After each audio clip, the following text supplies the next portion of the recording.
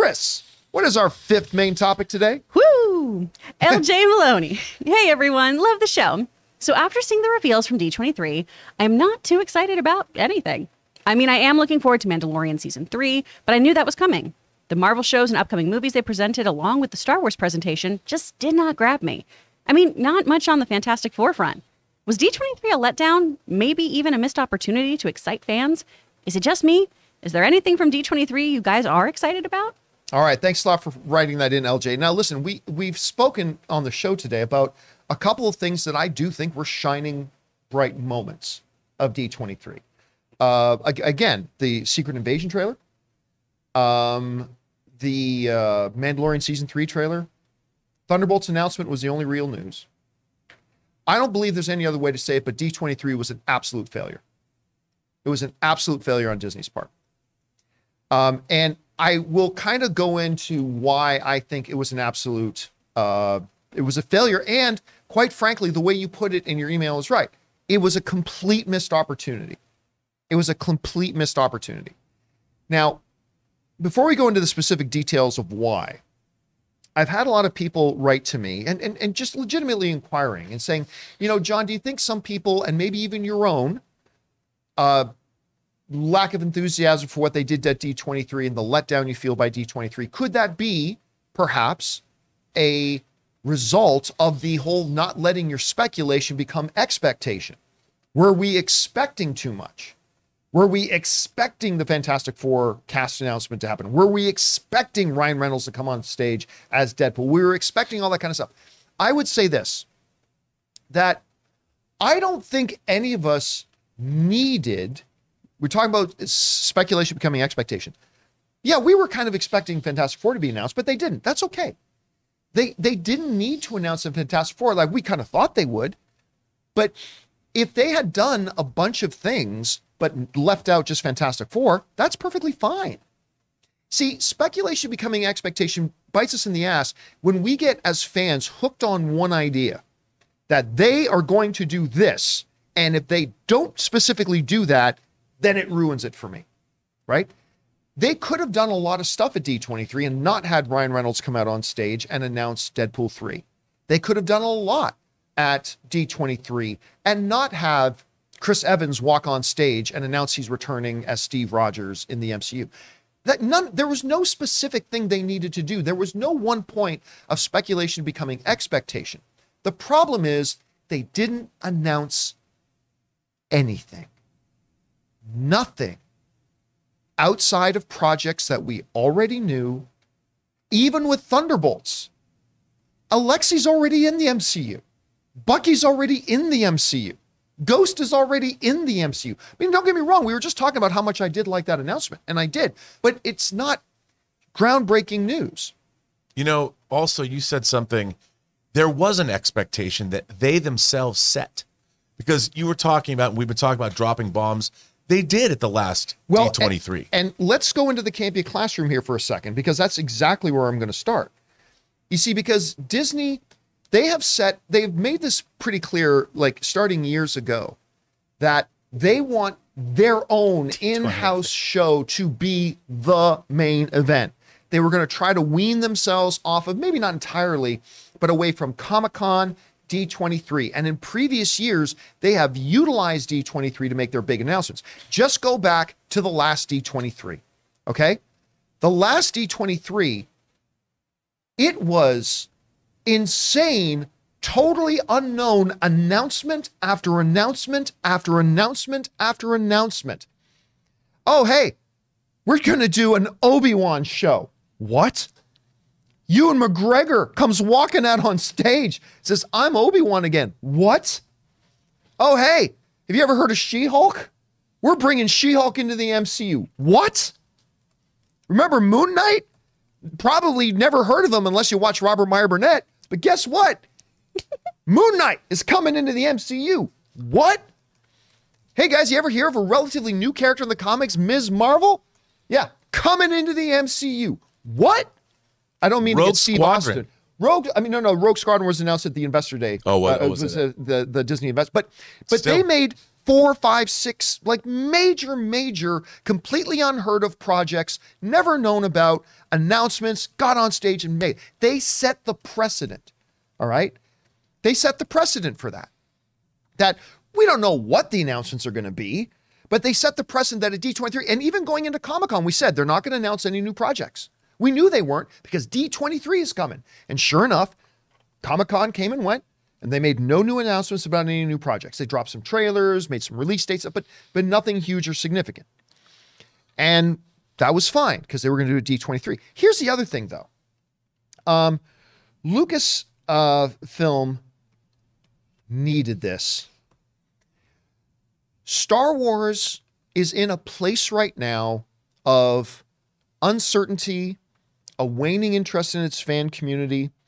I mean, a lot of us still very much Star Wars fans, but our expectations for Star Wars projects now coming out are a little bit lowered.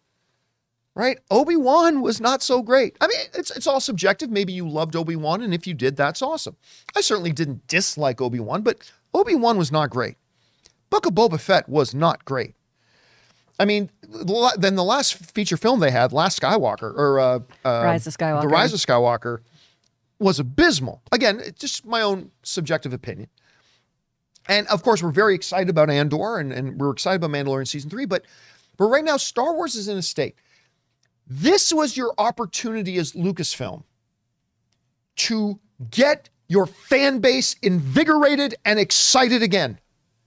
This is your opportunity. I remember going back a bunch of years at Comic Con, like the DC fandom was like they were taking their lumps and you know Marvel was shining and everything. But you know what would happen? Comic Con would come along and they'd make some big announcements and drop some things and whatever. And all of a sudden, even if it was just for a little while, the excitement was back in DC again, right? This was Lucasfilm's opportunity to come out there and do something that got the fans excited again. What did they do? They showed us a trailer for the third season of a show that we already know is coming. They show some footage to the audience of Indiana Jones, which is great. But again, it's it's yeah, we know. We've known for seven years that you're making this movie. We've known that they shot it. We know Harris. You talked about it at whatever. Yeah, yeah, we know that. We know that. They gave us everybody want to get excited. Here's season two of a mediocre animated show in the Bad Batch. Yay! Who the fuck cares? And listen, uh, all subjective. If you like Bad Batch, that's great. But I've never heard one person say Bad Batch is their favorite animated show. What about Tales of the Jedi? And again, Tales of the Jedi. Mm-hmm. Hello, everybody. Uh, we'd like to present to you a cartoon show filled with character cartoon characters we've all seen already many fucking times. Look, everybody, it's a Ahsoka. Ooh, we've never seen that character before. Look, everybody, it's Mace Windu. Oh, wow, it's Mace Windu. We've never seen him before in animated for, form 18 times. I mean, don't get me wrong, these are perfectly fine. They're perfectly fine. But in a opportunity to invigorate your fan base, like you did at the last D23, because holy shit, man, when you, McGregor came out on stage and say, ask me if I'm Obi-Wan again. Yes. I mean, like, and then you announce the show, but like that got the whole Star Wars world excited. And the elephant in the room with Lucasfilm right now that the entire Star Wars fan community, including myself, is asking what the actual F is going on with the movies. Maybe you can't come out and absolutely announce we've got a release date for Taika Waititi. But even if you can't do that, come out. And like I mentioned this on my John Campea After Dark, Kathleen Kennedy needed to come out on stage and she needed to say, now let's talk about the movies. Star Wars was born on the big screen, and Star Wars is meant for the big screen. Now, we don't have like specific things to talk about today, but we want to let you know we've got a lot of work going on. Of course, you guys have heard that Academy Award winning filmmaker Taika Waititi is working hard at, at this and whatever. Our friend Kevin Feige is working. I mean, just giving an update. Just an update. This, listen, I want to drive this point home. This isn't some afternoon tea. This is D23. This is supposed to be the showstopper, the main event, prime time. This is it.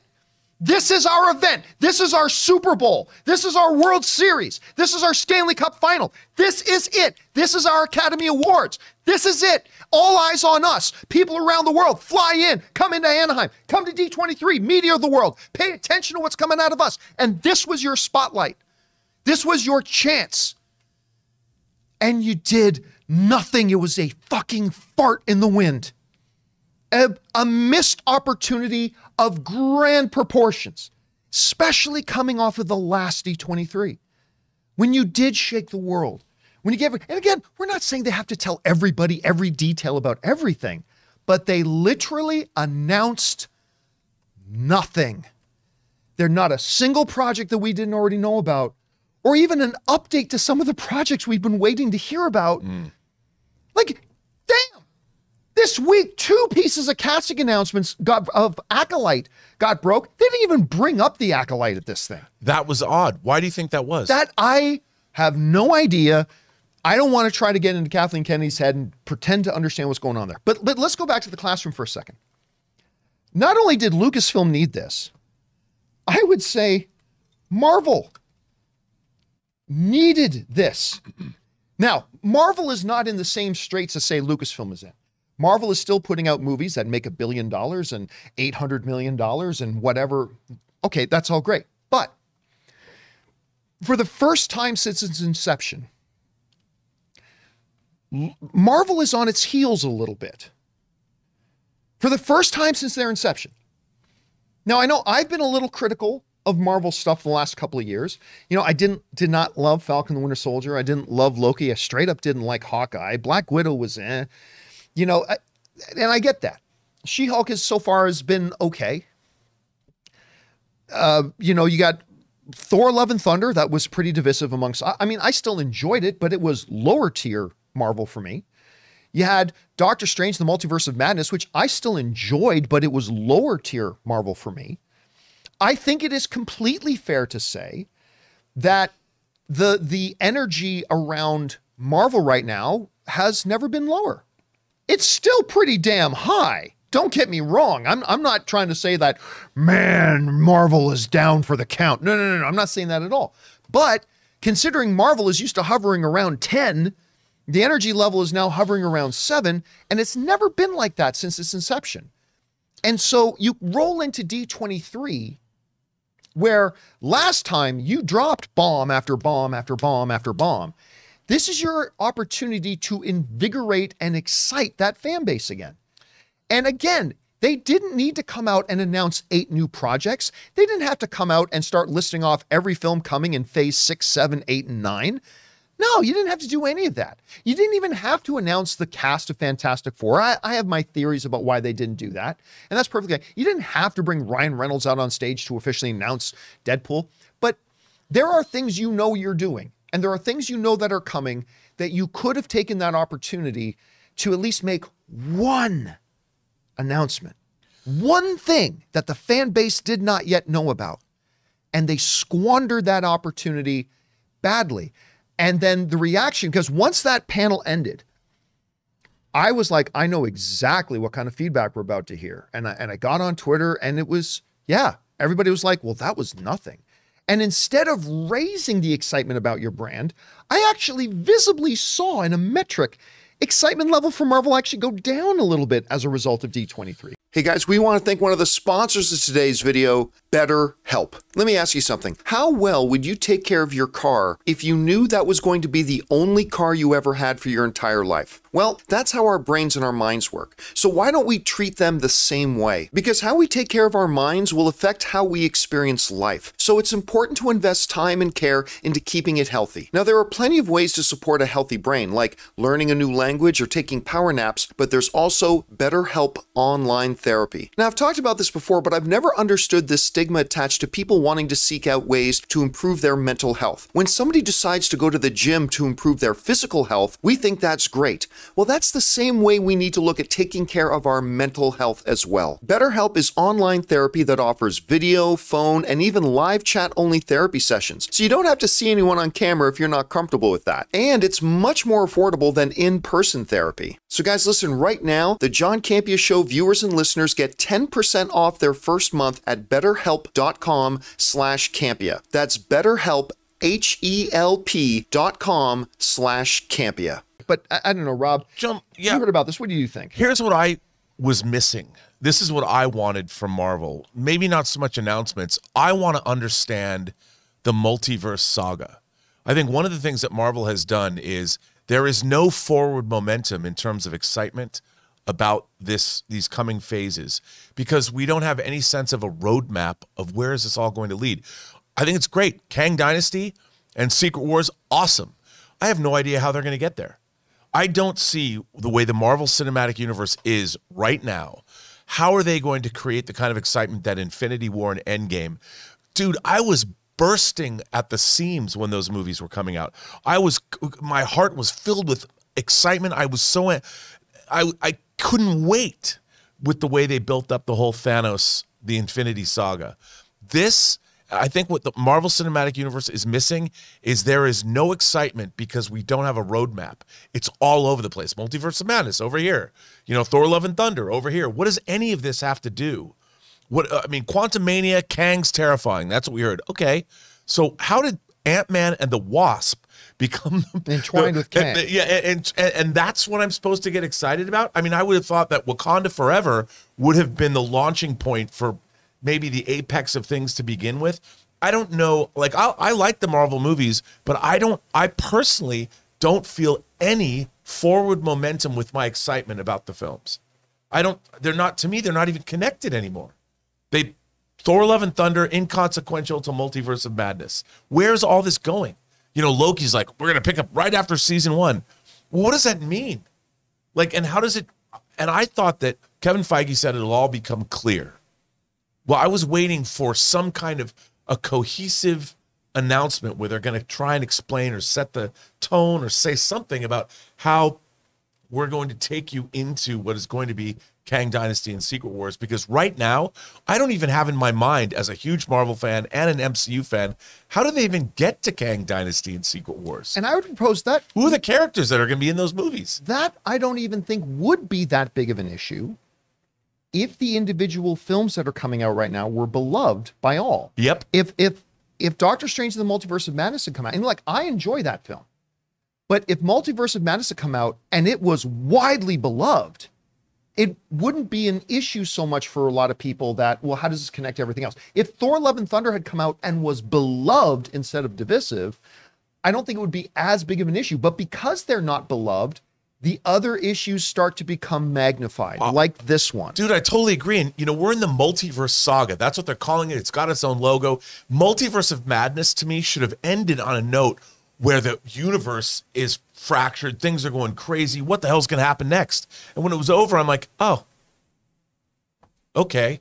Because it didn't seem to have any consequences to anything else. It wasn't setting up anything else other than, oh, you know, Charlize Theron's now in the MCU and has gone off with Doctor Strange. Does anybody know? Does it matter? I mean, I want narrative, forward narrative momentum.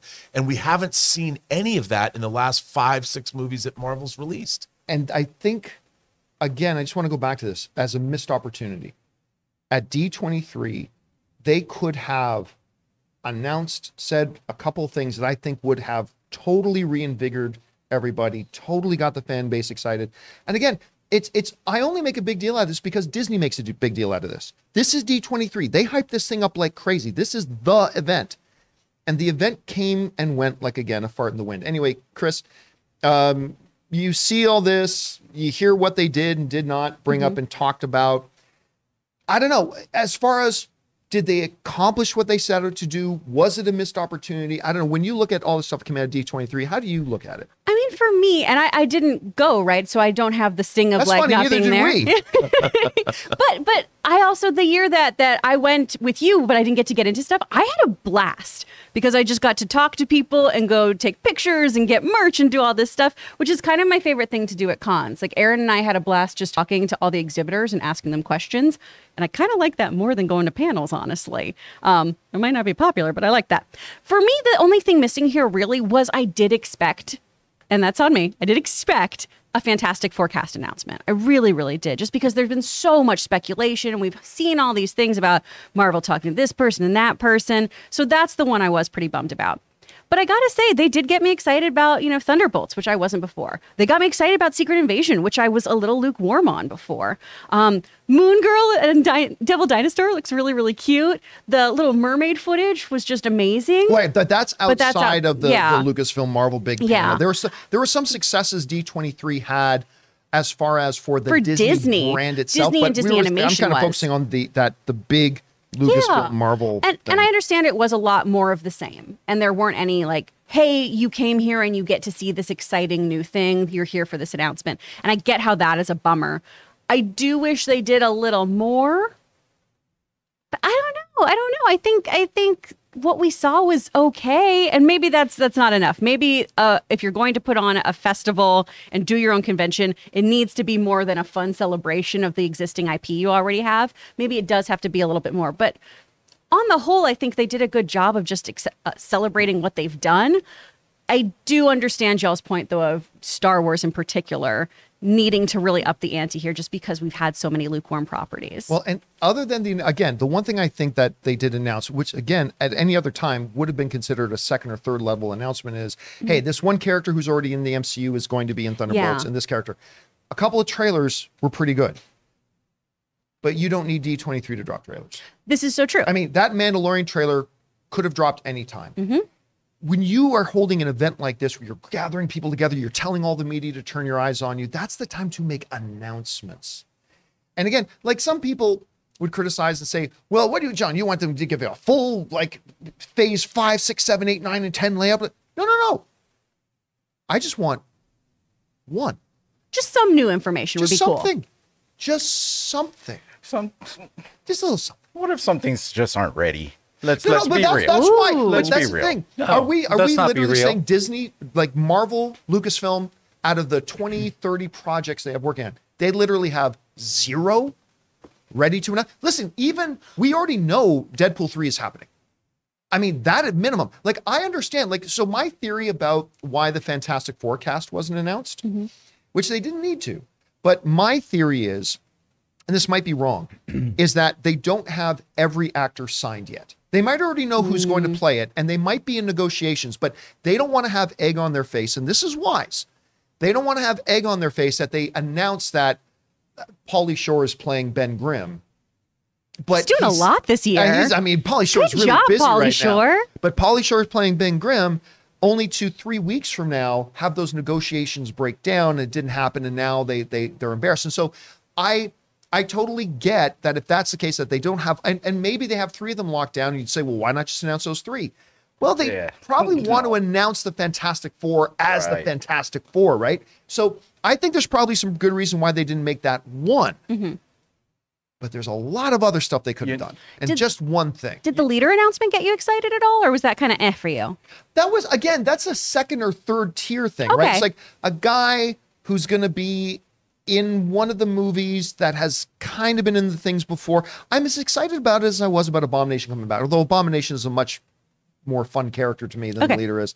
So again, I put that on the same level as finding out that Ghost was going to be in Thunderbolt. Sure. That's interesting. But again, it's a guy who's played the role before and is now going to be in this thing. It's like, okay, that's a that's a decent supporting piece of announcements that you make, a mm-hmm. second tier thing. So, I don't know. But but even things like Guardians of the Galaxy Volume Three that's been shooting, that not they showed footage for at Comic Con, so you don't have anything more you could show us I today. mean, yeah, not so, not have James Gunn come out. What about that holiday special they announced? I mean, I thought it was really cool that we finally got the Werewolf by Night stuff. Oh, that looks so good. But good. here's what I here's what drives me nuts. I mean, for me as a Moon Knight fan, Moon Knight they, it was in Werewolf by Night. That they're they're irrevoc, irrevoc, irrevocable, irrevocably joined together, the two of them, and it's like, is he in this show? And I, I'm asking as a Moon Knight fan, you gave me Moon Knight, now you're giving me Werewolf by Night. Are they together? That was my first question. this actually looks more satirical. Werewolf by, by It- Night kind of looks it- like a throwback to the. It does, but I was like, I, I'm like, it- I thought it looked great too, but I was like, I that was a question I had. Just like I have a question. Okay, how does you're in your multiverse saga? How do the Thunderbolts? How does Wakanda Forever? How does Guardians of the Galaxy? How does any of the Marvels? How do any of these upcoming movies?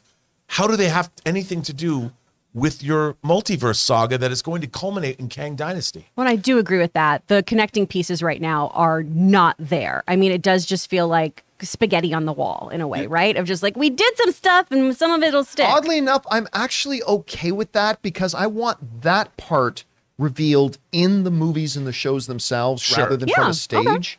Uh, but I, again, they just didn't announce anything. I th- I think on Friday when uh, Taylor put on the stream of D23 and one of the big parts of that where they were supposed to be showing the games, they did a huge section of just like these new exclusive items at Shop Disney or whatever. And then then it made sense to me. This is just them publicly displaying things. It's just a merchandising people could moment. Buy. You know what I mean? And then I was kind of like, if this if the games day was gonna be like a little preview of what what's gonna happen with the the with big panels. big panels, then I knew there's gonna be some disappointed people. I mean, I, the only thing I'm surprised is that they didn't show anything from Wakanda Forever. They did. Oh, they did. They only, did. but only to the the audience that was there, which I have no problem with. I, I think the people who got in there were there. They Yeah. deserve to have a special treat. so I don't mind that. Because I thought they would use the event to at least show more of what's coming up in the near future. Like um the things like the fantastic four cast. I I think that stuff could have been waited. Just because it would outshine the things that are coming out next month, the next two months. I think announcements like that, especially for things that aren't happening this year, I think it would be a I well in my opinion, I I I think it would be like a uh, a waste of time. Well, not a waste of time, but a waste. Well, why not just promote the things that are coming out soon so people could get excited for those? But then why do you even need D23? If you're just if you're just promoting things that are already coming out and everybody already knows about, then what you don't need a D23 to do that. But you can do it for a sense of community for that kind of fan base, though. The people who do cosplaying, the individual merchants, and things like that. I know it, it's not all congruent, but But as a as just a Disney, all things Disney fan event, mm-hmm. sure, D23 Expo is great to go and you're I mean, I saw some great Disney princess cosplay. the Spider Family you posted was Oh. so precious. that made my heart oh. happy. Seeing that Spider Family was so great. The picture's up on my Twitter if you want to go see that. It's, it's my favorite picture. That I made took me that consider weekend. children. I I mean, mean, as- immediately not. As just a celebration for people who love the history and all things that is Disney, mm-hmm. as just an event like that, mm-hmm. sure. But the precedent they have set with Lucasfilm and Marvel and all that kind of stuff is this is the place where we really, to use my vernacular, drop bombs. This is mm-hmm. our place to do that. And they didn't do it. And and I would suggest that this year they needed to do it more than ever before, not just because Lucasfilm really needs it right now, and I think Marvel really needs it right now, but this is the first D23 post-pandemic. That's true. When you know that this is the first time they've been able to do this and get everybody together. And it's like, listen, we're back in a big way now. And anyway, next I year, could, next year, John. Next uh, year, watch. but well, There's going to be a whole bunch. Jerusalem shall Zahav. Next year, you know, but, but here's the thing. It gets really expensive to take a chance on stuff like that, though. Yeah, I I don't believe in them anymore. Right. Don't get me wrong. I'm s- I'm still a You Marvel every right fan. to I'm, don't that get me wrong, but I I have zero interest in like even if I didn't have the horrible experience at D23 this year that I had, even if I was just sitting at home and saw it's coming out, I have zero plans of ever attending a D23 again. Or Star Wars Celebration or anything like I'm never going to this stuff again. Like ever. We were even talking around here in the office about getting the whole crew, getting hotels, getting flights, and all of us going to London for Star Wars Celebration. That ain't happening. I ain't doing that now. Well, but you could get my ticket. um, yeah, maybe I'll, maybe I'll get yours. Ray on I'll- I'll- location. I'll, I'll take one for the team. Aw, what a giver. Yeah. What a guy. Anyway, guys, question is for you. What did you think about what we did or did not see coming out of D23? Do you think it blew the doors off? Maybe you thought it put you to sleep. Whatever you guys think about it, jump down into the comment section below and let us know your thoughts.